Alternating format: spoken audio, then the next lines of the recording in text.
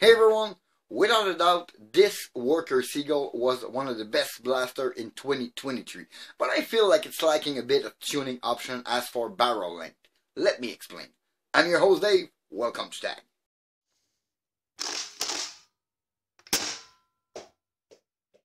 This little lack of option, it is not because it is a bad blaster. It's basically that, if I remember correctly, with the Worker Harrier, we had the option of putting two barrel, a 310 millimeter and a 370 millimeter on it. Both of them give us different results with both included spring. And I'm gonna stick to the included stuff with this blaster. I don't wanna go with the optional thing you could buy. But even then, if you were to install a 450 millimeter optional barrel on a worker Harrier, even with the included spring, you had a gain in FPS, consistency, and accuracy. Coming back to the Seagull, I feel like it came with a very good tuned barrel with a 210 millimeter, and the 310 millimeter longer barrel is basically maxed out for this plunger volume. Doing some math on this blaster, this plunger volume versus stroke and the length of barrel says to me that at 280 millimeter, this configuration with those spring or close are pretty much maxed out. Meaning anything from the 310 to the 370 millimeter will require a spring upgrade and a good one. With a strong spring, you will achieve the acceleration you need to push the dart out of the barrel. But with the included one, you are pretty much maxed out with what you have in the box. But me being me, I want to have a lot more option and since they included a 310 millimeter barrel with this blaster, which is the exact same barrel as with the Worker Harrier, I might cut myself a custom one.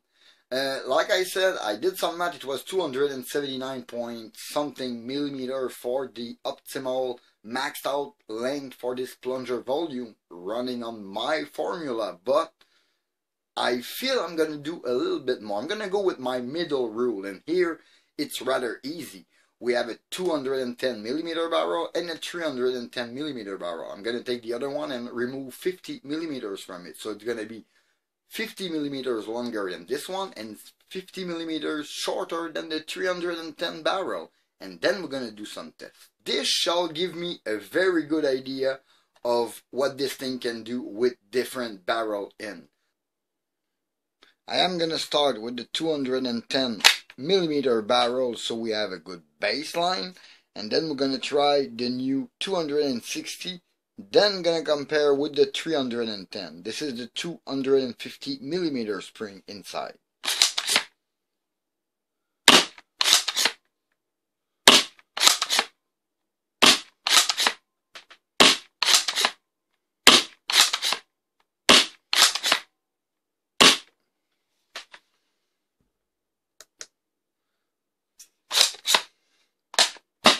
This thing is sealing properly. This was a little on the soft side, but I am using Ghost Dart on this thing because I like them. They are pretty regular. Here we have 146 minimum, 150 maximum, and 149 average. A little on the soft side, but this is probably the Ghost Dart.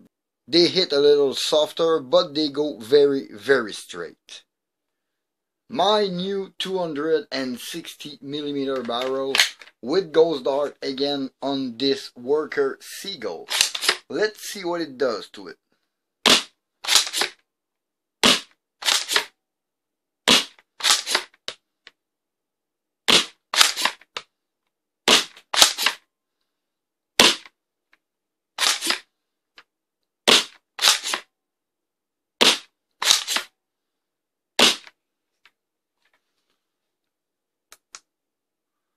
Okay, a little risen up. Minimum 152, it was a small occurrence. For the rest, it was basically 157, 158, pretty much regular. My best guess is it's gonna go to 165-ish average for the next barrel, and you're gonna see the relation here because we have somewhat of a 5 to 10 FPS increase from one barrel to the other. That is what I call barrel tuning.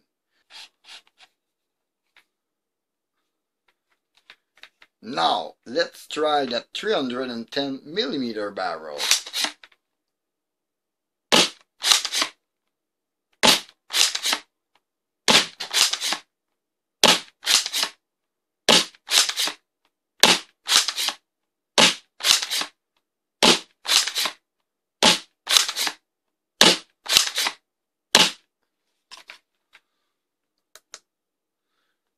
Well, as I was saying, 160-ish, 65-ish FPS. We have 161, but we had a couple shot around 163. Minimum 156, maximum 165.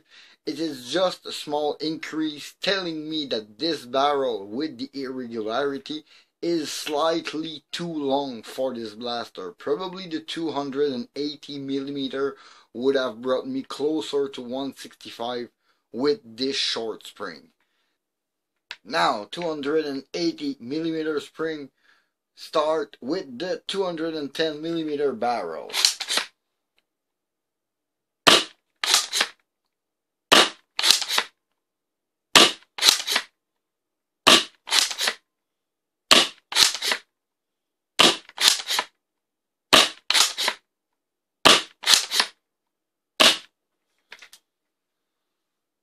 Well, that is pretty regular, average of 161, minimum of 159, and a maximum of 165.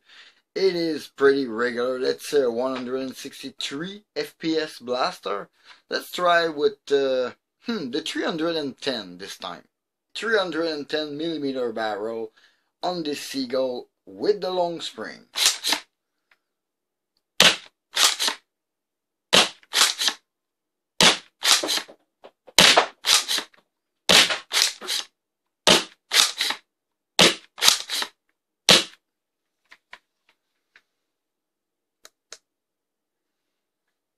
176 average, 174 minimum, maximum 178.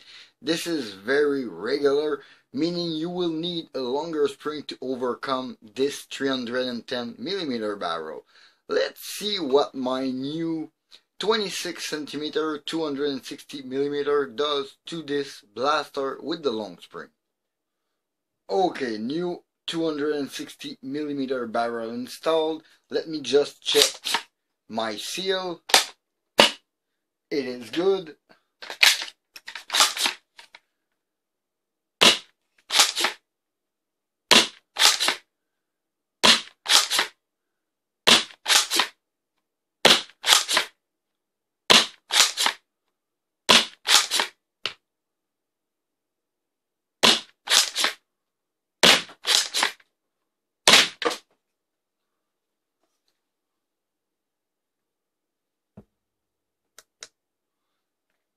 169 average.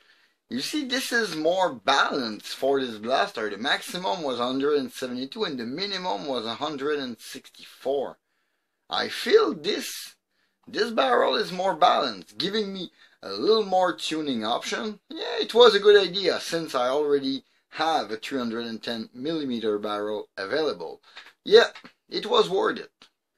Well, looking at this blaster after modification made me think it was worth it two times to cut this barrel to have a shorter one. This barrel give me pretty regular FPS, a good amount above the base FPS of the 210mm blaster and just under what the 310 would give me. This makes me think this barrel is a better fit for this blaster. Plus, this new silhouette I mean, this look very, very nice on it. Everything fits, everything work. I feel it was worth it and workers should offer like more length, more in between for fine tuning of a blaster without having to open it to swap the spring all the time. I just found it weird that Worker didn't release any new length of barrel for a lot smaller plunger volume blaster that they released. And this thing is really, really good. Since this is my last video for 2023, I want to wish you all a very happy new year. We're going to see each other very, very early in the year. In the meantime, you can always follow me on Facebook and Instagram at that old Nerf guy. Please leave a like and comment, subscribe for more content. Don't forget to hit that bell to notify for my latest video. This was Dave Fatag. Thank you for watching. See you next time. Bye.